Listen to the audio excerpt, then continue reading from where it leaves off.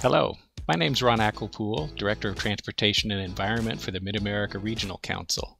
We're excited to bring you Connected KC 2050, the new long range transportation plan for the Kansas City region.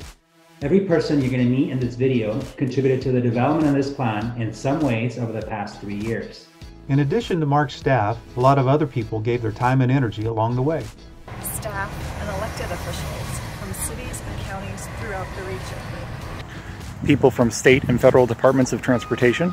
Representatives from nonprofits and community organizations. And you, users of the system. Part of the federal funding process, this plan identifies improvements to the transportation system for the next 30 years. And if current events have taught us anything, no one can predict what the future holds. So, while we did use data and computer models to take our best guess at where we think people will live and work in 2050 and how they'll get around, we also made sure that this plan provides a vision that guides us to where we want to go. Whatever the future may bring. We encourage you to read through the plan at connectedkc.org and learn about the goals, strategies, and projects for our region.